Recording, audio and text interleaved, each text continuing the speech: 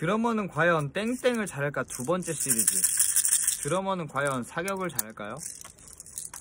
제가 한번 바로 해보도록 하겠습니다. 빵이야. 저 끝에서 쭉 와가지고 요거를 맞힐 겁니다.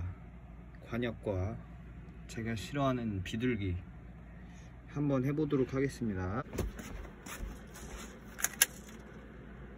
관역부터.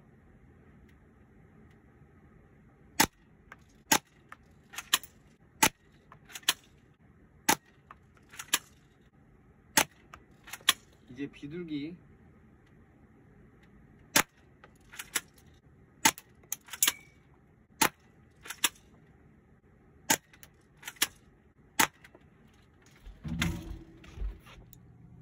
비둘기 얼굴 한 두 방 정도 그리고 관역은 정중앙은 한 번도 맞추지 못했습니다.